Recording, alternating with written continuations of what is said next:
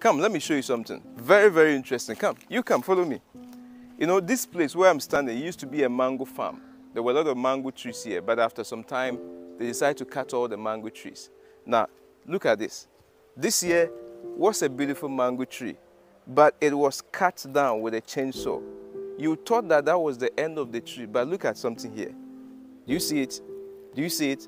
Do you see it? Do you see the new leaves? These are brand new leaves coming from a tree that has been cut down. The Bible says in Job chapter 14, verse 7, that there is hope for a tree that is cut down. That even when it is cut, it will come back again. If a tree that is cut can sprout again into something beautiful, how much more you? The Bible says God cares for a little sparrow. If God can make this tree that has been cut off to come back again, whatever that has happened in your life, it is not the end of your life. Maybe you failed at exams. Maybe you lost that job. Maybe your marriage didn't work out as you were expecting to be.